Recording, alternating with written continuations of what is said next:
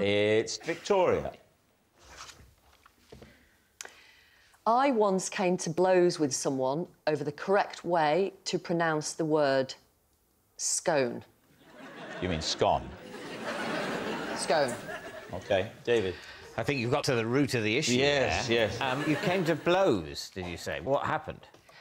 Um, Jane at school asked us all how we pronounced the word scone. How old were you? I was 14. 14. And why was you debating scones? Was this not an issue at your school, Jamali? No, I think we grew up differently.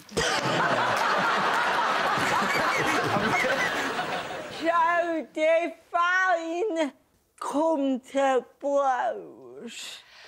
Um, I pushed Helen Webster against the lockers. What about oh. Jane? What about Jane? Jane had said, How do you pronounce scone? Yeah. And I said, Scone. And then blooming Helen Webster. And then Helen said, Oh, if you pronounce it like that, you're a snob. Or a snob. Or a snob.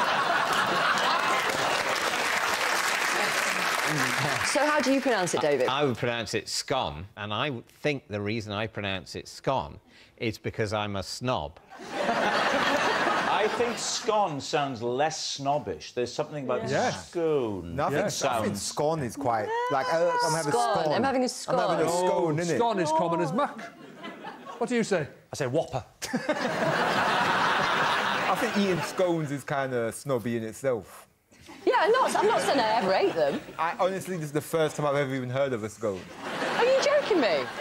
I've, I've, no, I was saying it for comical effect. I haven't. Oh, it's... I have, I have eaten scones. And they're very nice with a bit of cream and jam.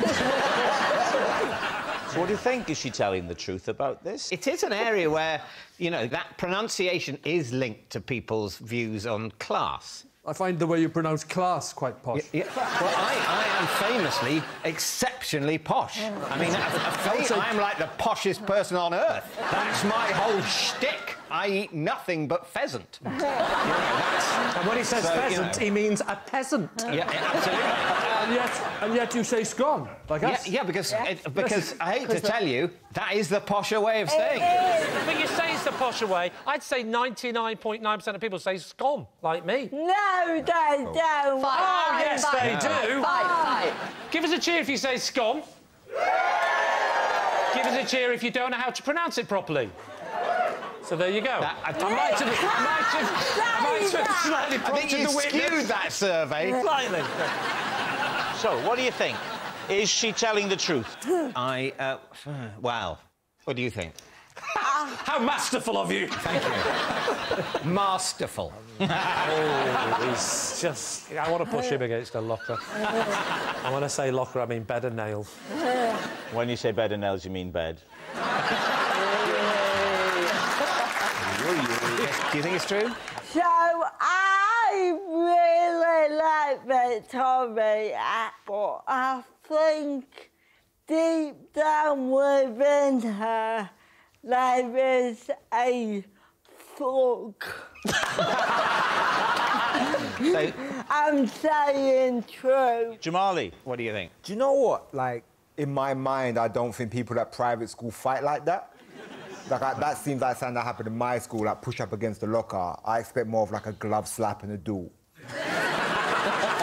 but I'm gonna say it's true. I think Victoria would be raging over scones. What's it going to be, David? I think we think it's true. OK, Victoria, it was a harrowing tale. Is it true or is it a lie? It is true. It's true, Victoria did come to blows over how to pronounce scone.